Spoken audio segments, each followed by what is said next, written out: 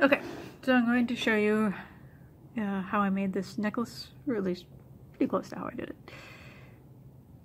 So, um, first you need to start out with your basic clay that you've picked out. Um, whatever color you want to use, it doesn't really matter if you want to go realistic, if you want to go fantasy, crap. Here's one of my eyeballs. Where did the other? There. But keep in mind the size of your frame. So you want to try to keep it somewhat within it. I mean, it's great that it goes everywhere, but I always worry about tentacles breaking, arms breaking. So that's a pretty good size, yeah. So it's best to determine about the size you want for your octopus tent head. Make more or less eight identical uh, arms. Obviously these are huge, um, they all are going to get trimmed. I just try to do them more or less the same size because it helps with trying to get them a little more evenly uh, distributed. I'm not going to do the really complex set of octopus parts that I do when I do really realistic ones because it takes between six and eight hours to do a full one. Eventually, if people actually start watching these and subscribing, uh, I'll probably do a full octopus. But for now, I'm just gonna do the quickie version. Even though it's not very quick. Well, if you want to do a good job. So as you can see, they, they don't have to be exactly the same length. Uh, you can get thinner, but with jewelry, you never want to go too, unless you're using metal, um, but with polymer clay. Uh, always remember that you're going to be wearing it. It's going to receive some form of impact, especially if the person or yourself wants to wear it a lot. You got to remember it is it's not a painting on a wall. It's it's functional, sort of.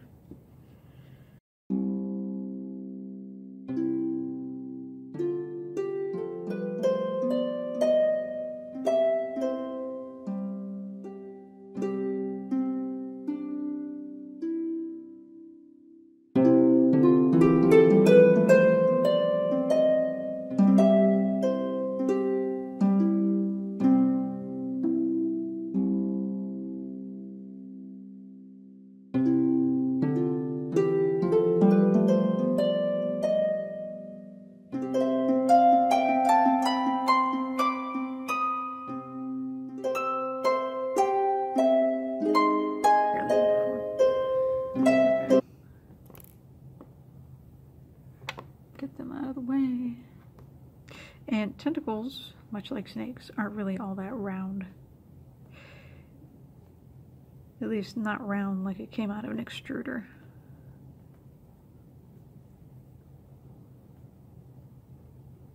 Okay, so that's a nice shape and I love texture. If you do not love texture, you don't have to texture your step. You can use a plate, you can use um,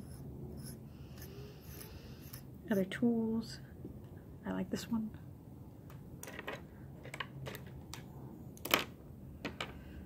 Uh, I have quite the collection of just weird little tools that give neat shapes. Since we're going to be handling it a lot, it's not a bad idea to do deeper texture because it's going to get removed somewhat.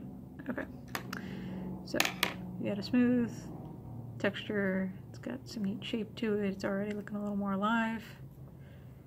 If you look at texture, and then we do a nice trim. If this point you want to add the suckers, that's fine. Um, I try to get it all done at once.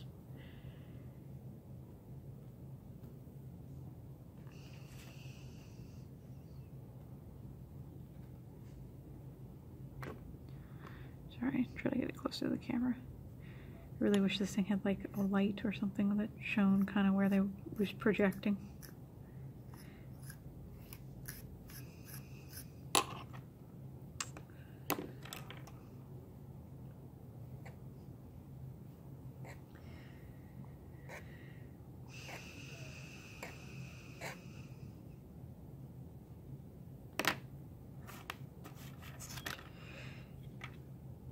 It's much easier to fix mistakes early on.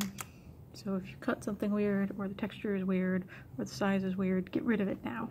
Just do it over. One's way too big, one's way too small.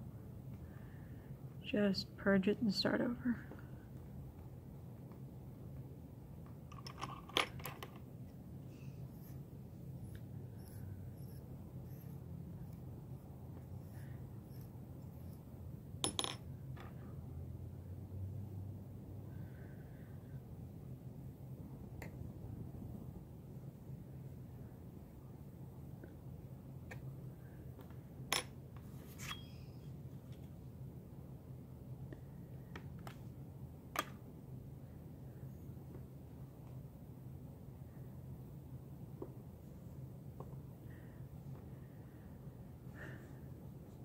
The nice thing is um, when you push down like this, it does lengthen it a bit.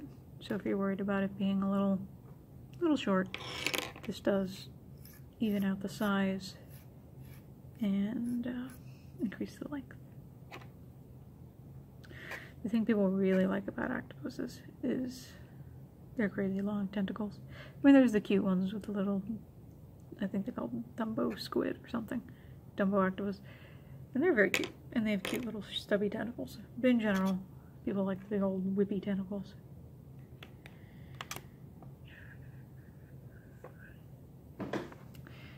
They're what's really interesting about them as animals. I mean, if you took away the tentacles, they're just a bag with eyes. They're just jellyfish that can see.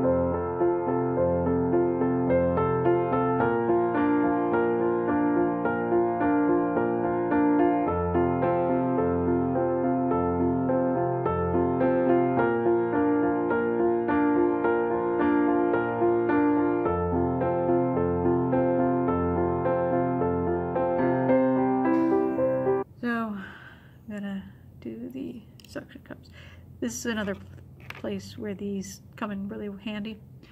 Uh, I have a bunch more, but I don't know where they are. I think they're in my polymer or my PMC kit. But they already have pre-built in sides. You could use, I don't know, things like um, pen tips, but they're more dome shaped and these are really round and they give you that really nice uh, indent.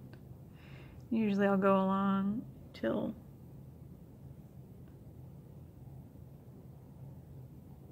uh, I start running out of the shiny bit.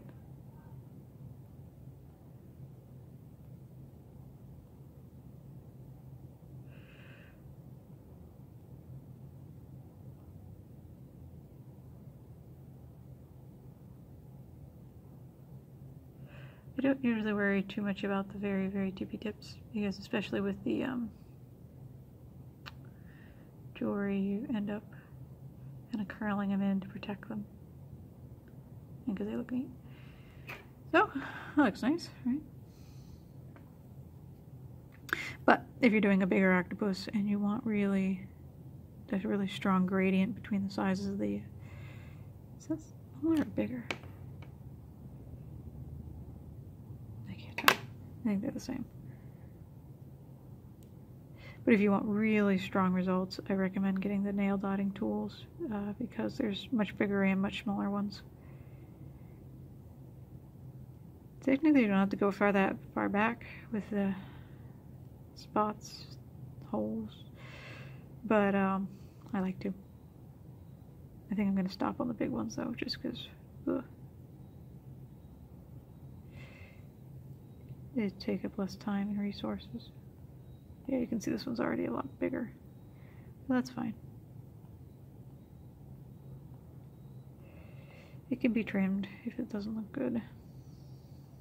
I think the most worst part about tentacles is you do all this work detailing them and then half of it's hidden and the other half you have to trim off because it's the wrong size.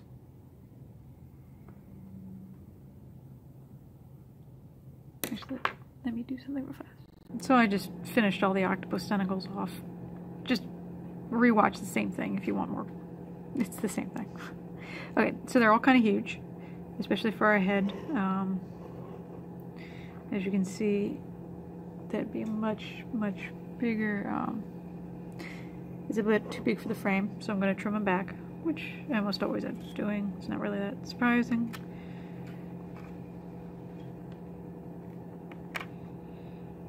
Like I said, you put a lot of work into these things, and then you just hack it off, and the other half isn't even seen.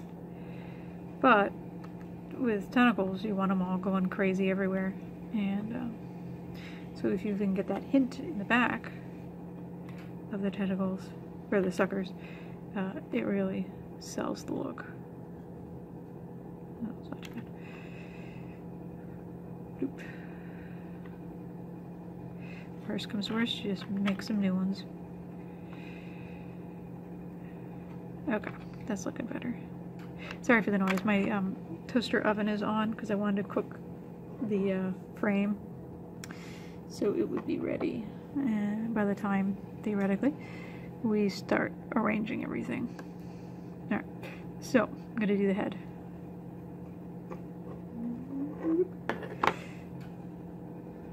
Gonna base it off this one. Octopuses don't usually, I mean, they're amorphic, they squish all around, but they have a general base look. It's not round, it's much more of a, a teardrop. See? Teardrop. And, and um, obviously there's, there's many different species, so they often end up looking pretty different. If you want to base it off a specific species, that's a great idea. Uh, but generic octopus, the uh, it narrows where the eyes are placed. So right now I am working on something for all the tentacles to attach to. Kind of like a bib or skirt.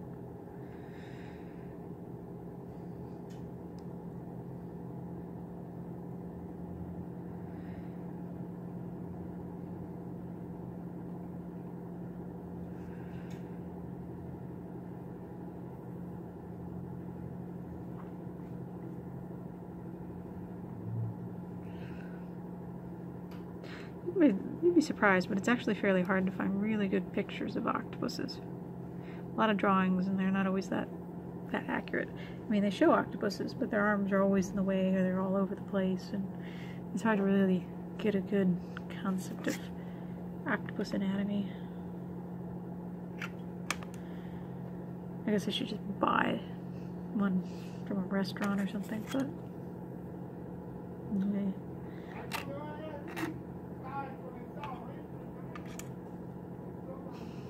Alright. That part's not that important. It's gonna get trimmed and moved. The nice skull shape is, see how round that is? No good. Let's push it back. There we go. Much more interesting shape. There's not a lot of super round stuff in nature. The only thing that's really super round is probably some of your ball joints in your body. But you don't see that. Not walking around. So you don't want to really do that much in your art unless that's something what you're trying to go for. But if you're not trying to go for it, uh, it's a big factor in a lot of people's things looking plasticky. And um, I like to do uh, loops, drag loops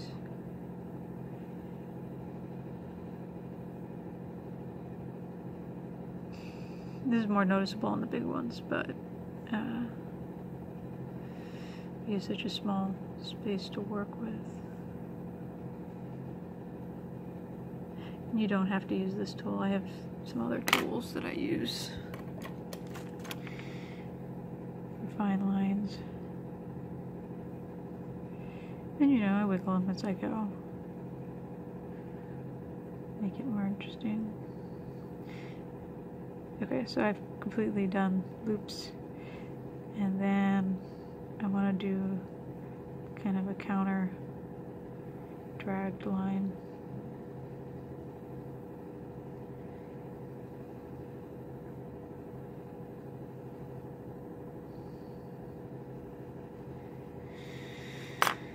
Okay, and then rub it out with your hands.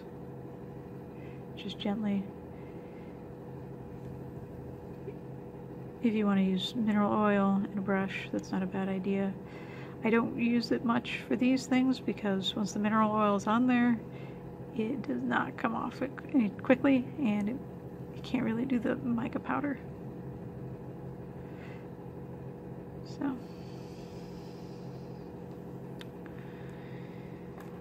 And that knocked down a lot of the detail, but I want to add some back.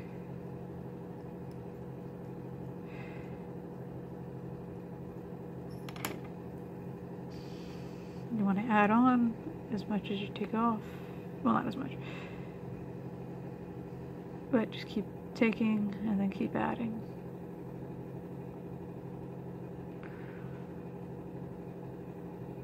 Because you want to be able to have high points for the uh, well, you can use paint, but the powder to stick to.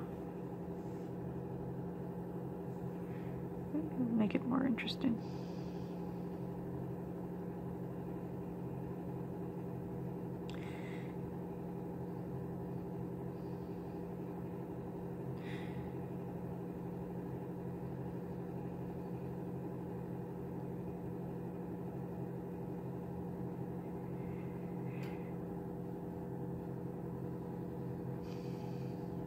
Yeah, I really prefer the, uh, the ball tip tools as far as they need leave a nice edge.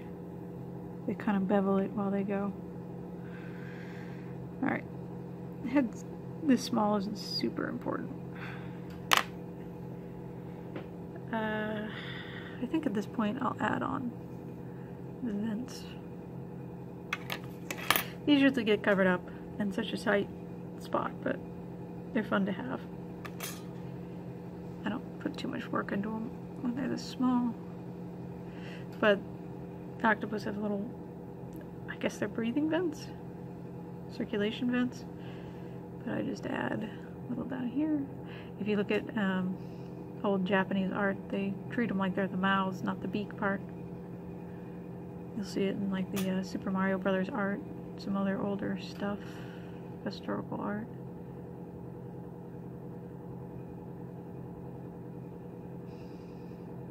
Yeah, it's hard to get a good picture where these are on the animal. I think there's different positions for different one species, I don't know. But they're there.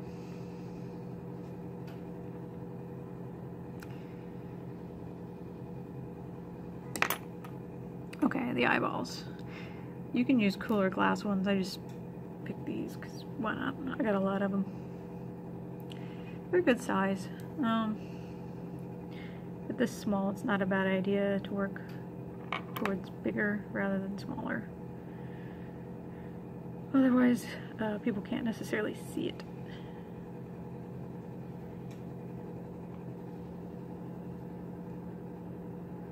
It's kind of like why cartoons have oversized hands or knives. It, it reads better, even though it's not very realistic. So I'm going to put them more towards the top.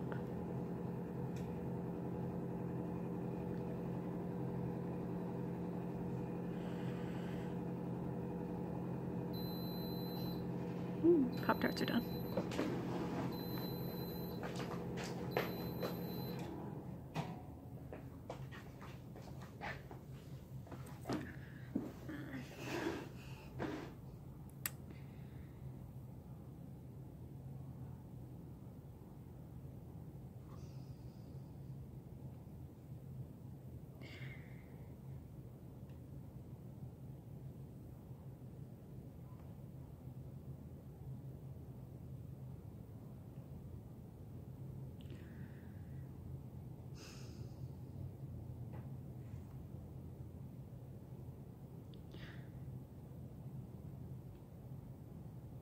I don't know if music's better or not to put in this part or just me talking. I usually put the video tutorials I watch on mute.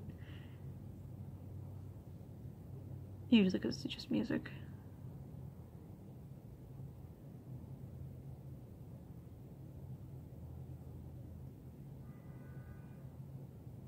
So blending it in.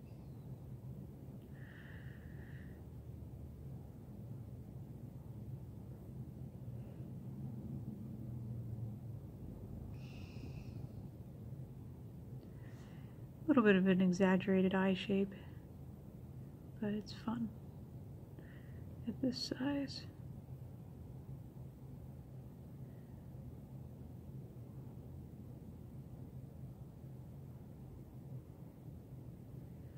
So,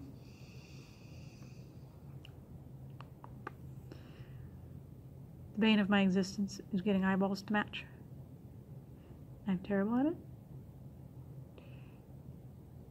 And let's see, how am I doing? Not great.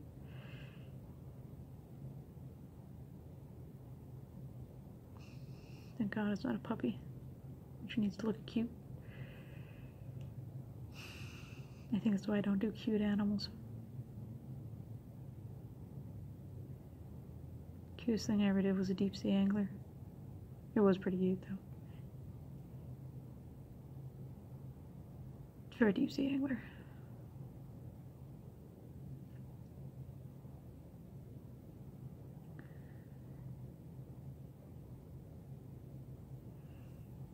See.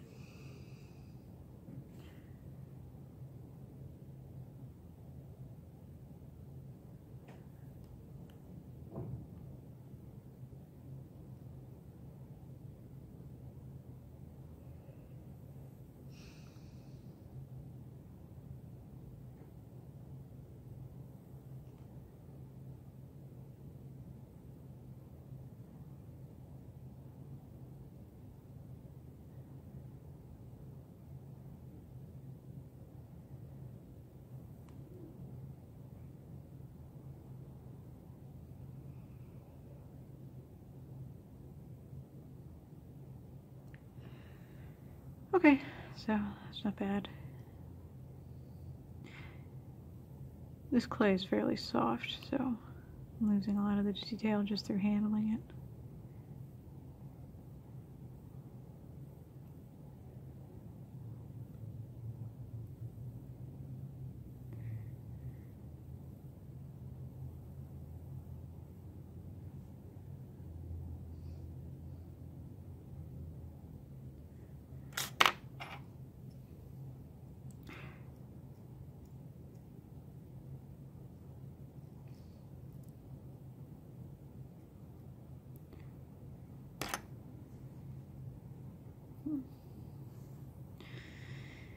Yeah, pretty good.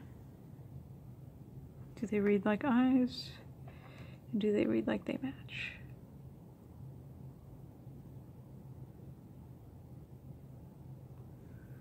Nope.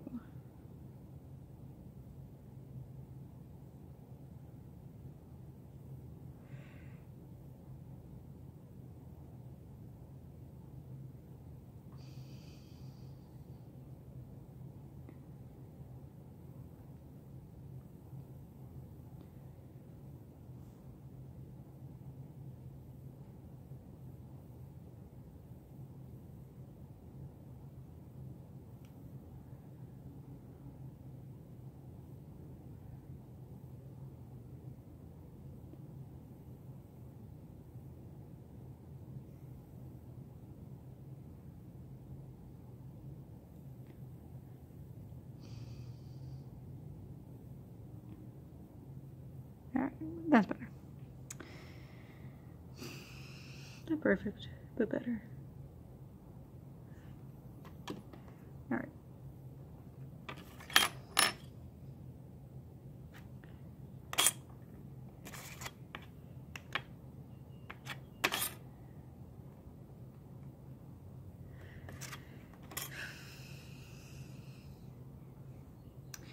Now we get to the octopus part, the tentacle part. Alright, I'm going for my longest tentacles, slash biggest, whatever, doesn't matter, bigger than the smaller ones. And I squeeze down the trimmed part till it's fairly thin and narrow. Squishing it down a little, but not much, because there's a very strong chance I'm going to have to move it again.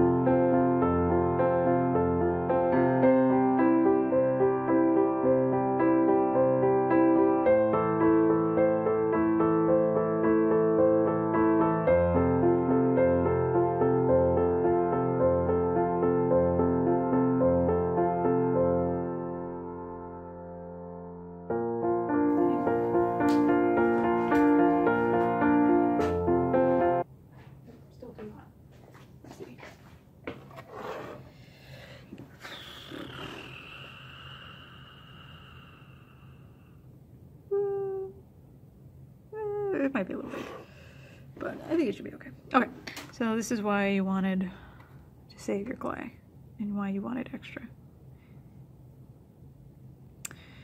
So we're gonna smooth these in.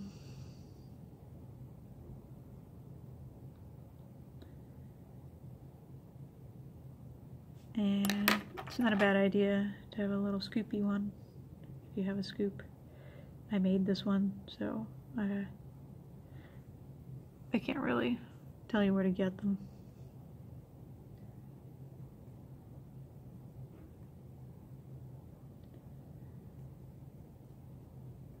You could skip this and just make this part thinner, I guess, or um, just leave it how it is. It's just me being nitpicky.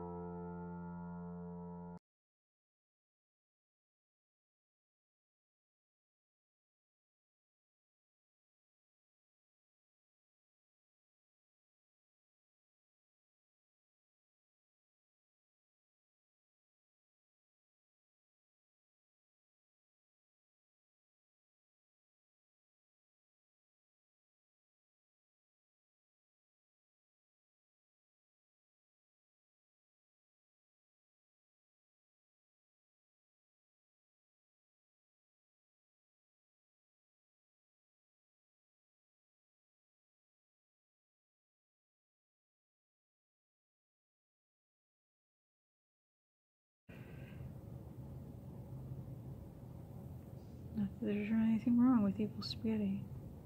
Ah, finally. Freaking finally. There. Blend it all back in. I like to try to keep those channels and then pull that in.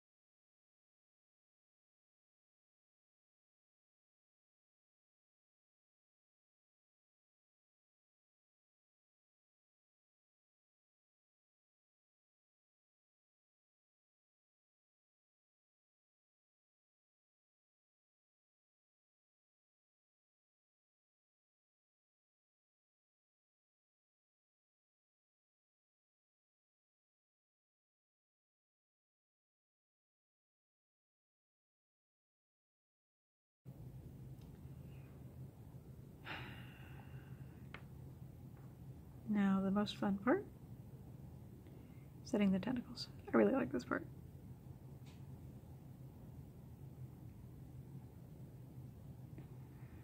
I think it's probably the most fun.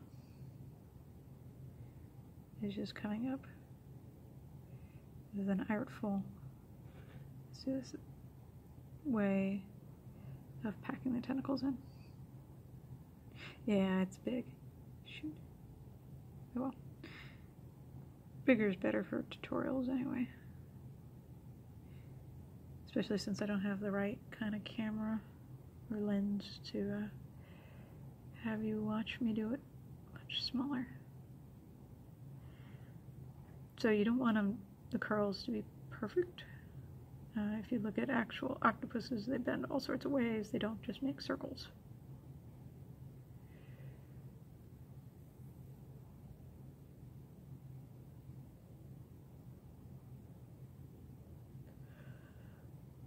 You can even have them interacting with each other. That's cool.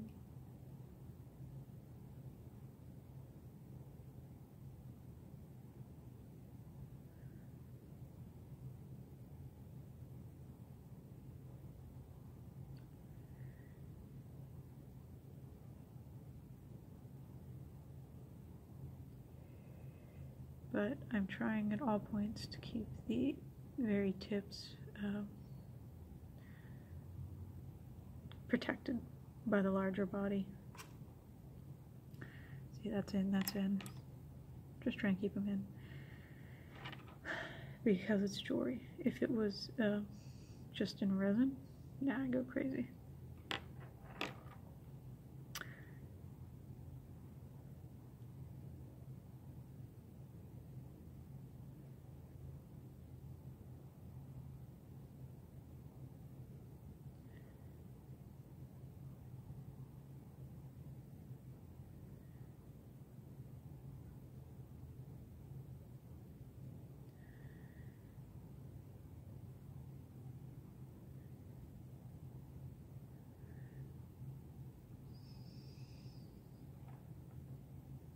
These things are, these are uh, mica powders and makeup and everything. They're so wonderfully holographic. Uh, Surreal makeup actually does have a real holographic one, but it's it's more of a silver holographic, if that makes sense. And I haven't found the perfect use for it yet. I like it. I own I own two things of it, but I don't know what to do with it yet.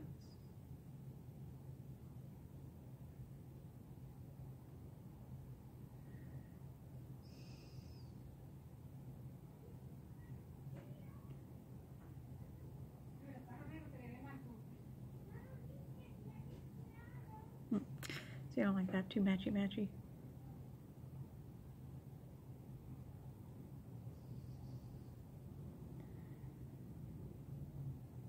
There we go, like that. Well, shoot, let me pull that over. There you go. I'm gonna bake it. Um, nobody really seemed interested in the actual resin part, so I'm not gonna bother showing how I do that unless somebody would like to see it. But I think it's pretty cool. All right. Thank you.